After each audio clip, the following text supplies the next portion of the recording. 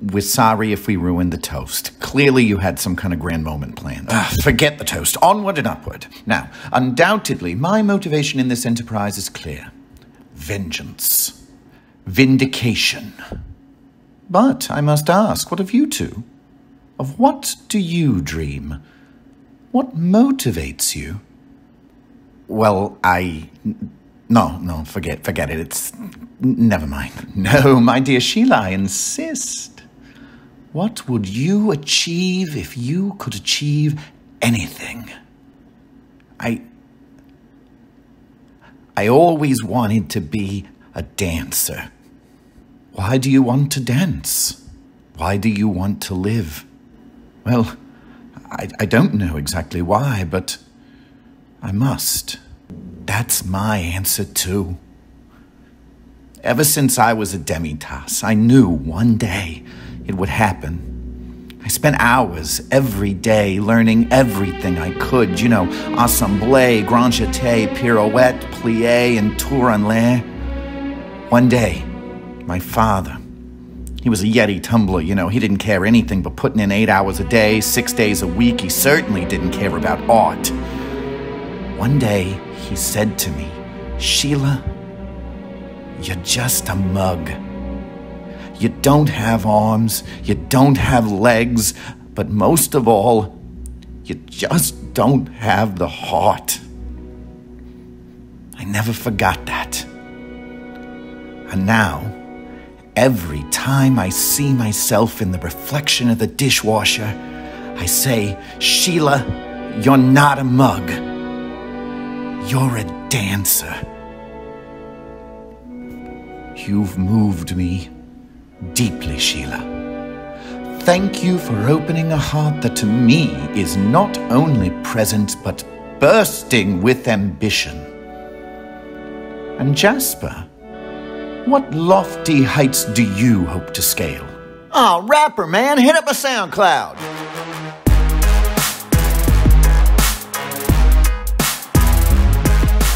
Guys. Today's work is going to be relatively short. It is going to work essentially just based off of what we started with last week and you were intended to review yesterday if you were finished with the test. So basically remember that in its form, the way we change something from an exponential form to its inverse, to its log form, is by doing the following. If we have a base and it's raised to a power y, and that gives us a value of x, then we can rewrite that isolating for y as y equals log base b of x. And you have the chance to work with different versions of that in the homework from last week, which you were intended to review yesterday.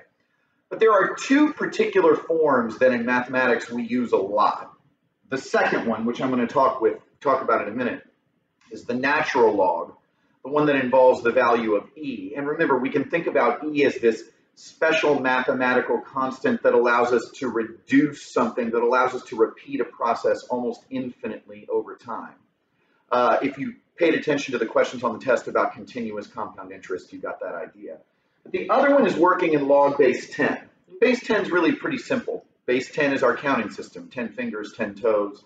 So we use these two a lot. So we call them different things. We call the first one, the one in base 10, the common log because it's common to our existence.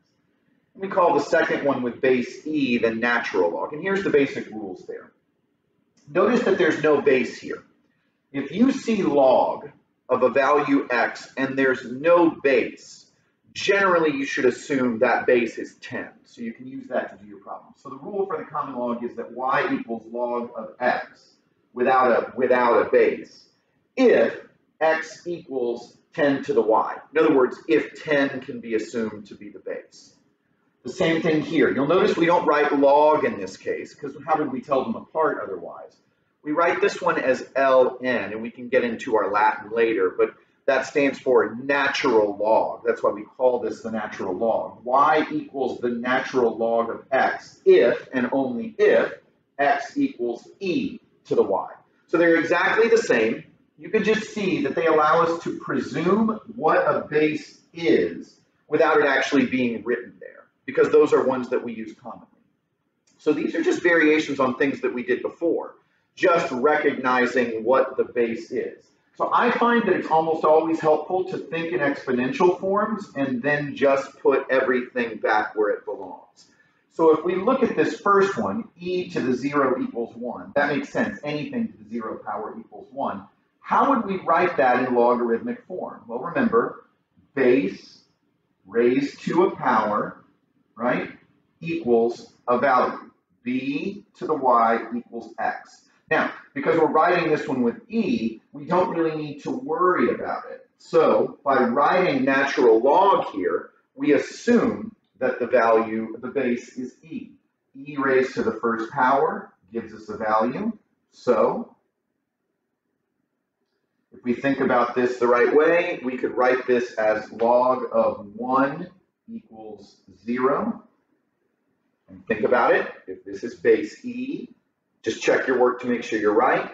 e to the 0 power equals 1. So this is really just conversions. And then I'm going to switch in a minute and show you some others. All right? What about here? Remember, now we're not going to have to worry about our base anymore because we can see our base is 10 here, right? So if we read this correctly, 10, if we think about it, right, I'm, I'm confusing myself here, sorry about that. b to the x, log base b of x equals y. So if we always think about our y as our exponent, then that gets really easy for us to do here. So we just put everything in the proper place.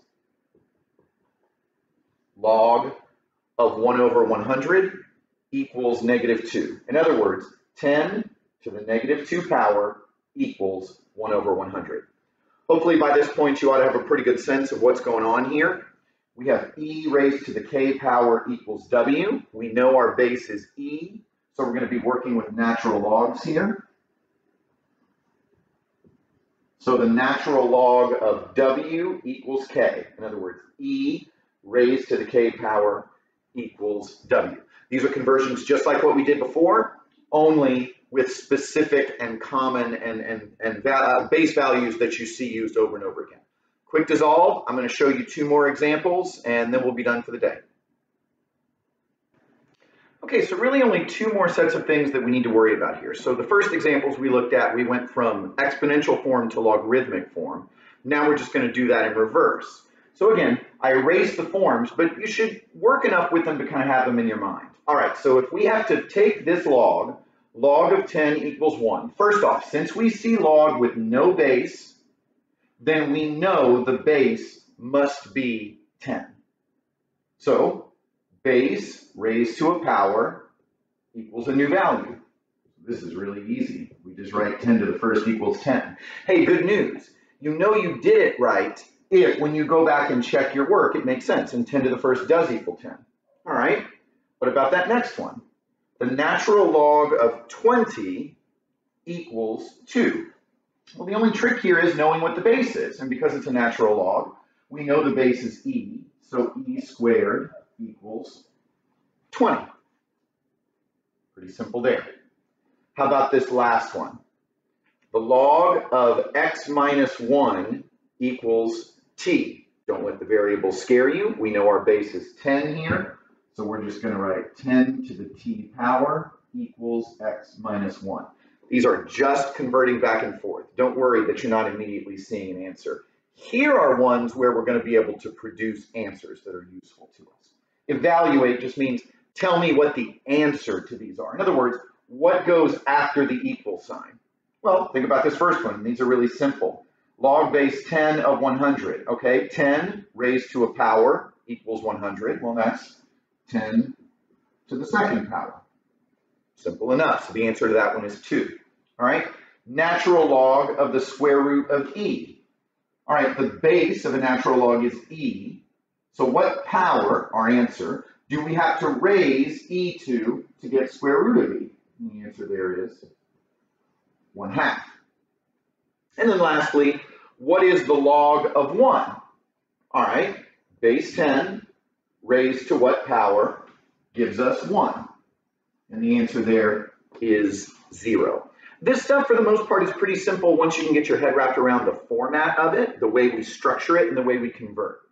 Homework is going to be simple. I want you, please, to get some rest and whatever you can to get time with loved ones, whether it's in person, whether it's at a distance, whether it's maintaining proper social distancing.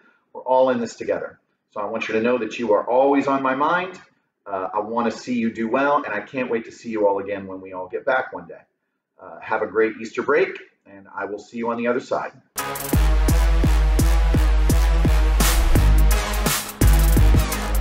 Yeah, kind of going for a Black Bear meets Machine Gun Kelly kind of feel.